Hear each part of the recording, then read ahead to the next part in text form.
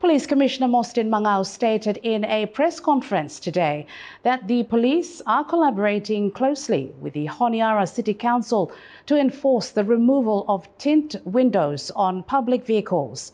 He confirmed that efforts are underway to ensure compliance with the regulation and that enforcement will take place soon.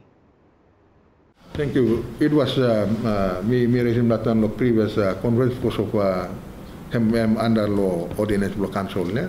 So mi fala waitim na wata ko kamba ko tem how now like for doing.